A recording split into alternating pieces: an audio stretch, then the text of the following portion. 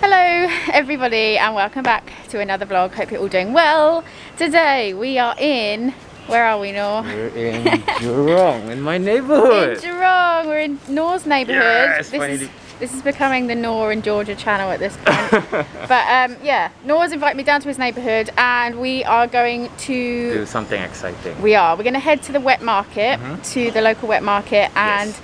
Take you guys along. We're going to Mhm. buy some fresh food and then Nor is going to cook for us. I'm gonna be like Georgia's personal chef for today. You Only for today. I think maybe I don't know. so Depends. special.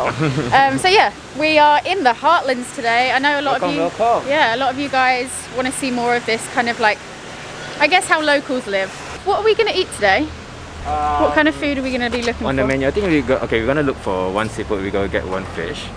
So, oh yeah, we're planning to do some pumpkin roasted pumpkin soup. So, fish, Yeah. we're gonna find a sea bass if you can find sea bass. Uh huh. If you can find a pumpkin, we'll find a pumpkin. Uh-huh. Alternatively, if you can't find, then we try to find a asparagus. Then we can do like a roast asparagus on a skillet or something. Sounds amazing. I think Jurong is like the less talk place. The last what? I mean, like people don't talk about it, like Jurong. It's like you know, there's like a there's like a east and west wall. Like the people in the east was like, okay, if you wanna come to the west, you have to bring the passport. I think like that joke is very very old already. So I'm really really tired of that joke already. Yeah, you don't need a passport to come to the west. Okay.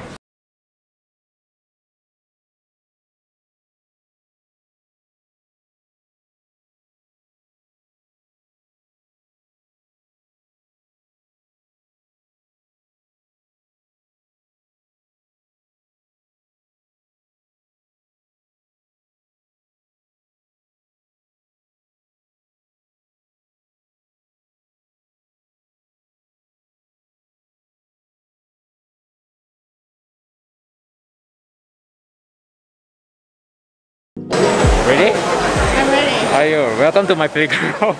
so, I think we go look for fish first. And We get vegetables. If you need to find any herbs or any banana leaf, then we'll try to look around the area. So, I'm gonna bring you to some of my favorite places to buy for the uh, seafood and all the uh, groceries.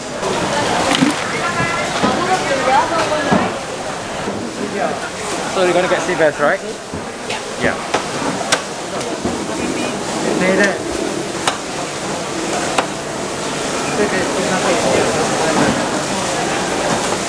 Nor wants me to guess how much sea bass is. Like how much? Like, if you were to go to the normal supermarket at NTUC at FairPrice, Eight?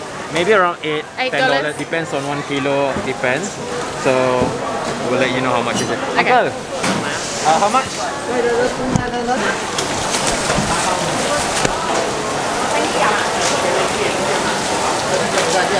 Uncle, this one. Okay, okay, okay, okay, okay.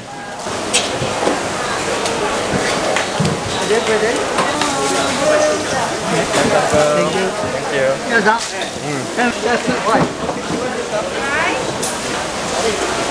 It's definitely like sensory overload when you walk into the wet market. The smells, the sounds, and it's really busy. I didn't expect it to be this busy.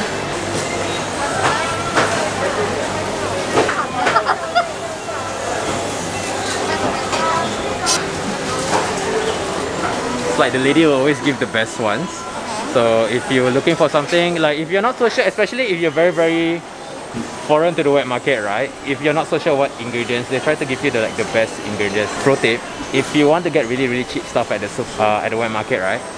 Like I usually go like one hour or 30 minutes before the wet market close. Do you know why?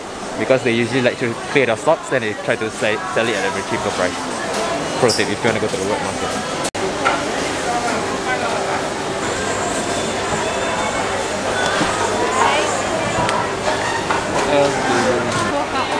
Spring onions. Sorry, what's that? Okay.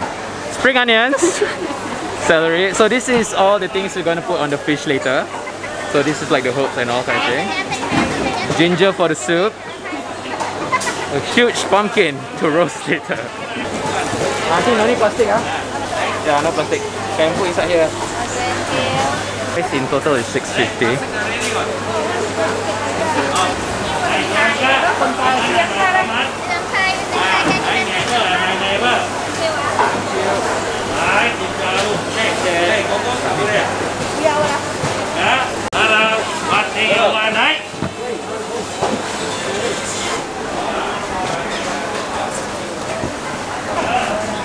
How huge are these though? Asparagus. asparagus. Look. Apa dah? Popularnya dish. Popularnya di sini. Yeah, you always come in. Doing like filming and all that kind of thing lah. Yeah.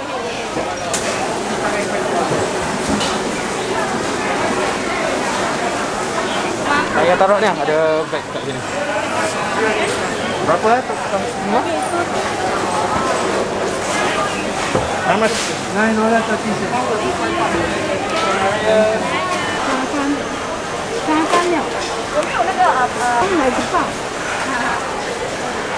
我要包好，放好再凑在里面，我不知道。没有包过，没有有一种。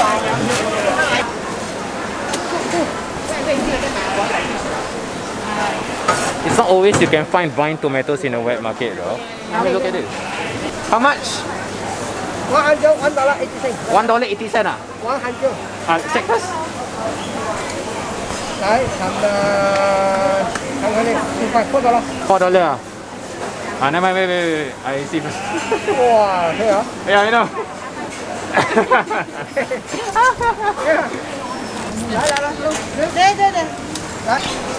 Angkat lama siapa? Four dollar. Kurang angkat? Tidak. Three dollar kena. I tried, I tried, I tried. Okay, okay, okay, okay, okay.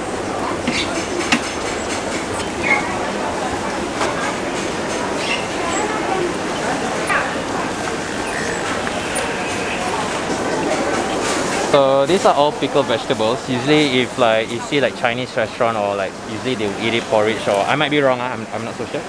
So it's something close to a kimchi, but this is how it looks like. So there's like the braised cabbage, everything and all.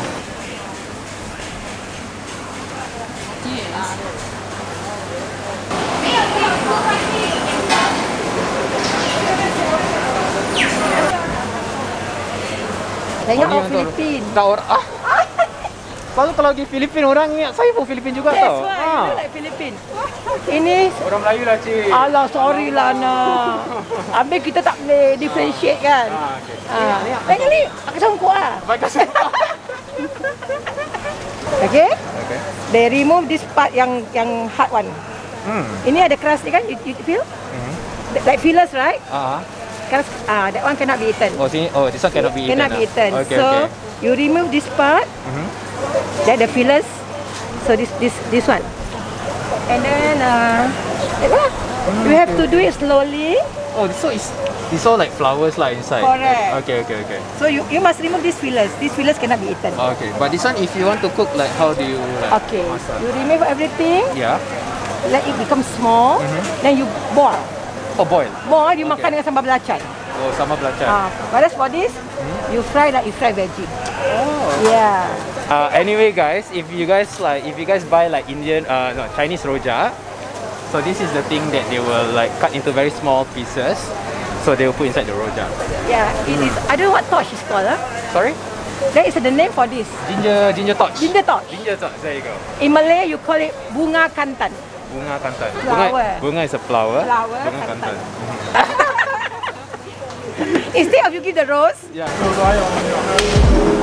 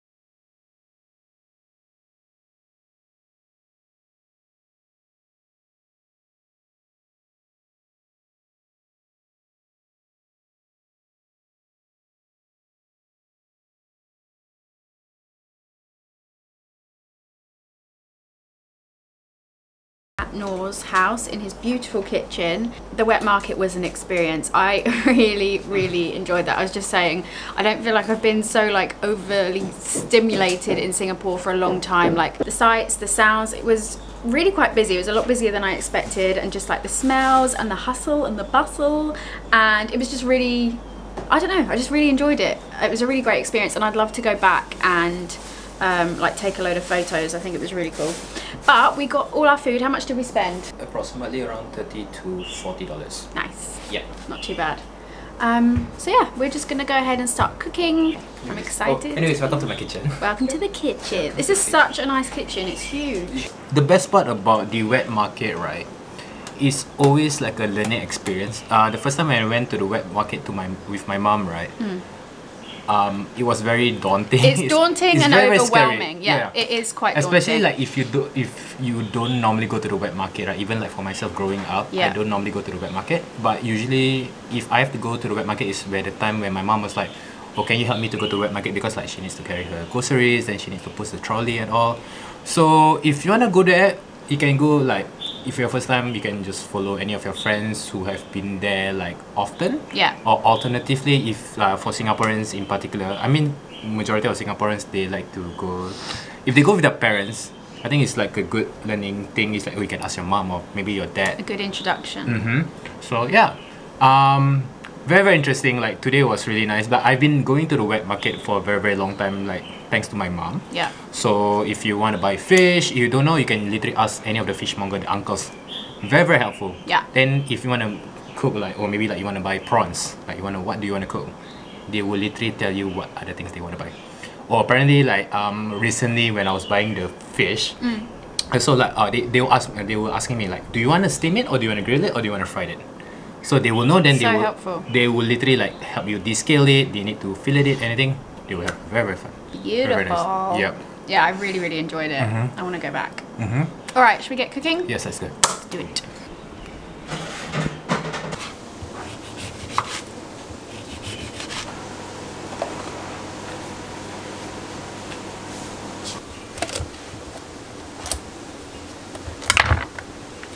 What you're currently doing right now is I'm just removing the seeds from the pumpkin. So if you want, you can remove all of this, take the seeds, and then you can put in the oven. Then you can snack on it to put on salad, etc. But I'm not gonna, I'm gonna, I'm not gonna bake it. I'm just gonna remove it. Put some olive oil. We're gonna roast this for at least an hour or 45 minutes. Oh, wow.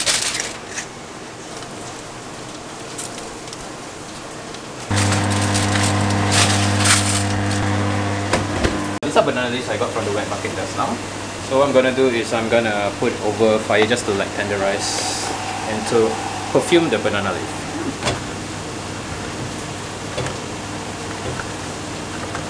Feel like there's like a changing color. Oh, yeah. Like if you wanna touch it, right, Georgia?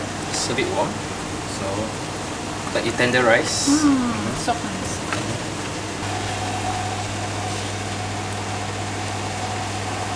So some spring onions, scallions I got from the wet market, some ginger, the perfume. It's like I'm currently right now aggressive, aggressively seasoning the fish because like it's gonna lose a lot of moisture. So just put as much salt as you like. Beautiful. So yeah, I'm gonna put a bit of chili just for a bit of spice. All good. We're gonna wrap this. We're gonna cook for an hour, one hour, 45 minutes, depending on your oven. I mean, usually what I do with this fish, I do like barbecue events, like some of my friends. So you can put this on the grill also. It's really really good. But since we can't do any barbecue right now with the whole situation right now in Singapore, the oven is like the best option at the moment. So I'm gonna wrap this.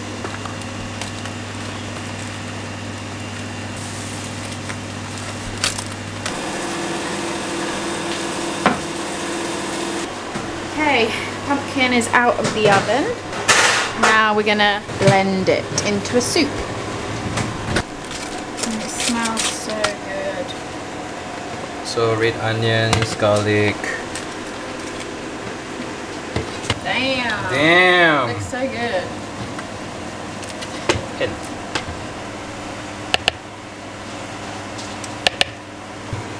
ginger.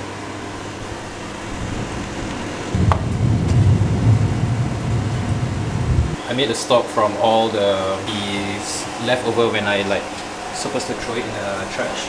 It's a vegetable broth. So yeah, so don't throw it away. You can use it as a vegetable stock if you can. Put inside the freezer. Put inside ice uh, in the you know those ice tray. Yeah. Then into uh, then if you freeze it, then you can use it anytime.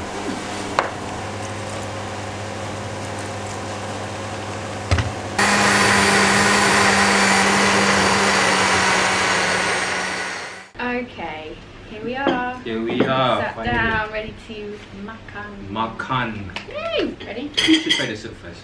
Yeah, let's try. Mhm. Ready?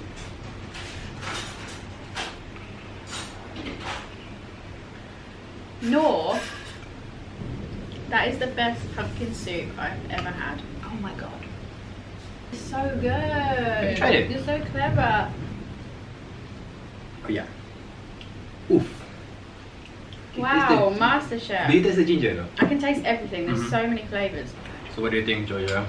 I'll give that one a 10 out of 10. Wow. You guys are missing out. Honestly, that is so good. Thank you. Really good. Yeah, it's fun. I'm very impressed. So Nor has a selection of Hari Raya treats here. Literally, it's still Hari Raya. Oh yeah, it is. Still Hari It's Raya. like walking into a candy shop. There's just so many Cookies. cookies. I want to try them all. It hasn't stopped raining all day, so this has been the perfect afternoon to cook Mhm. and stay at home. Wait, have you tried sambal before? I have never tried sambal. So shout out to my auntie. So I order homemade sambal from my from my auntie. I brought her bought this from her. So she's gonna try some. Uh, try at your own risk. But first and foremost, It looks terrifying. Look how spicy this looks. I can definitely handle more spice now than I used to, but Mhm. I think you should try the fish. damn boy. Nailed it, Nor. I feel like we're Nailed it. feel like we're in a beach At a somewhere. restaurant. Yeah. You need to open up a restaurant. Delicious. Mm-mm-mm. Mm, okay. Do you wanna try it with the sambal? Okay, Mhm. scared. Okay, let's do like How much? I'm Okay. scared. I'm scared. I'm scared. I'm scared. I'm scared. I'm scared. Oh wow. Okay. Yeah, it's a nice flavour. Yes. Mmm, that's good. It because it's not like too spicy. Mm-hmm. No, not so spicy, but just like a hint of spice, sweet, Sweet. peanut, peanutty, Mm. anchovies also. Okay guys, I am going to wrap the video up here because we just want to dive into this food and Mm. enjoy it. But I really hope you enjoyed coming around with us today. A big thank you to Nor Thank you for showing me everything. Thank you so much for inviting me again to be with you. Of Hanging out, course. Yeah. Of course. Um, and it's really nice to finally try your cooking after Mm. so long. Um, but yeah, I hope that this encourages you guys to go check out Singapore's wet markets for yourself. Um, Come to Jurong. come to Jurong. Oh yeah, we didn't say where we are. Which Yeah. wet market was that? Um, the wet market that we went just now was the Block 505 Jurong West Market. Okay. So it's a mix of the hawker center and also they have the wet market. and it's there. an impressive Yeah. one, like it's huge. Mhm. I was really impressed. Yeah. Please do go hit the like button to thank Nor for sharing his wet market secrets and obviously for his cooking skills. It's been fun. It's It really been really, really like. fun. So Awesome. much fun. Thank you guys for watching as always, and uh, I'll see you in the next one. Take care. Bye. Bye. See Take you guys. care. Stay safe.